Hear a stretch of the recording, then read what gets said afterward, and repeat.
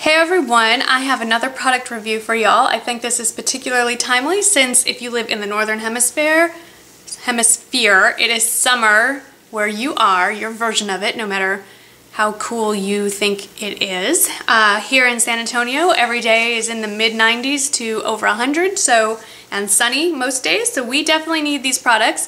Um, Banana Boat slash Hawaiian Tropic uh, contacted me probably a month or so ago at least, and asked if I was interested in trying out some of their products since I am a big fan of their products already. And I said, of course. And they sent me a few products, and then one of these I actually bought myself, um, and I've repurchased one of these already. So I can't wait to share with you my uh, little stash here of sun block, sunscreen, I don't know what you call this, sunscreen. There are new rules about what you are allowed to call it now, and I think it, block is out, it's sunscreen, and that nothing can be rated over 50 SPF. So, okay. And if I'm looking down, it's because they sent me this lovely information sheet because it's more helpful to you as consumers if I give you more than I like it, it's cool. So, I'll start with the one that I have repurchased myself. This is the Clear Ultramist Banana Boat Sport Performance Cool Zone um, 50 plus, and it's a UVA UVB protectant. It smells good. I really can't smell anything out of it, but um, I like it. It's handy. You can lock the cap, so when you throw it in your purse, you don't accidentally set it off. Uh, I use this a lot um, in my purse. I take it out wherever I am, like baseball games, kind of that last minute quick let's touch up sort of thing. Um, it does come in an SPF 30 as well which I don't have.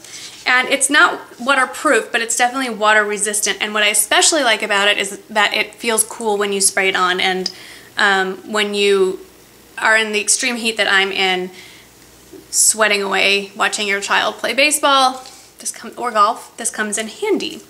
Um, it's also invisible. You don't have to rub it in. And um, even when I'm using some of the other sunscreens, I like this because I can't reach my back. I don't have flip top body parts, so this gets my back for me. So I like it. And it retails, they say it retails for $8.99. I don't think it retails for that much at Walmart, which is usually where I pick it up. Then they also sent me this, um, it's geared for the kids, but I like it for me too. It's the Natural Reflect. This one's for kids and this one is the same level of protection, but it's not for kids, and I don't know really what's the difference. They're both SPF 50 plus. They both have, ah, I see the difference. The one for grown-ups has 2.8 titanium dioxide and 4% zinc oxide, and um, this one has a little more titanium dioxide, 3.6%. Okay, so um, these are cool because they're oxybenzone free and they are paraben free and um, they are water resistant and they are recommended by the Skin Cancer Foundation and I usually um, drag one of these with me. What I don't like to leave sunscreens in the car because I think the constant exposure to that heat isn't good but I will throw this in the car when we're going on a road trip or something so that I can slap some of this on my children. I have put this on our faces and so far, I've had no breakouts. So um, that's good. So this is the natural kind if you're uh, a little afraid of chemicals. This is a physical um, sunscreen, I believe is what they call it. I don't know what they call it. That's what I would call it. It says that it provides uh, protection against sunburn, obviously. No harsh chemicals. It's formulated with 100% naturally sourced sunscreen actives. So this does require you to rub it in and it's white. Lovely. But it does rub in. It absorbs pretty readily. And it has a very pleasing non-scent. Love that. Here's my favorite. I think I may have even mentioned this in a favorites video. If not, I meant to. And I've been using these up like crazy. They're the Hawaiian Tropic Silk Hydration. And um, they have these moisturizing ribbons. You see the doodads there? These come in three levels, which I have, all three. Aww. There's SPF 12, 30, and 50, and I like these. These are probably my, these are my favorite because it feels like a moisturizer. So a lot of times I'll put this on my legs when I get out of the shower if I know I'm gonna be sitting outside for any period of time. I've been using the 12 on my legs because I'm pasty white and I would like some color and it's working maybe a little too well because there's still no color down there. That sounded wrong. Get your minds out of the gutter, you know what I mean.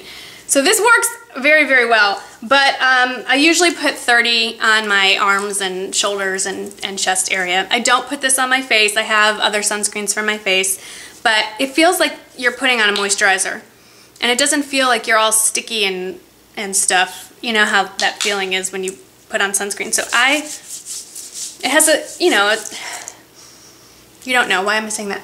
Just a fresh scent. It doesn't smell like sunscreen. And it absorbs really quickly and it just feels like, it feels like you're putting on moisturizer and not like gooey, yucky sunscreen. So I do like this. Now let's see what they say about it. Um, UVA, UVB protection, non-greasy, and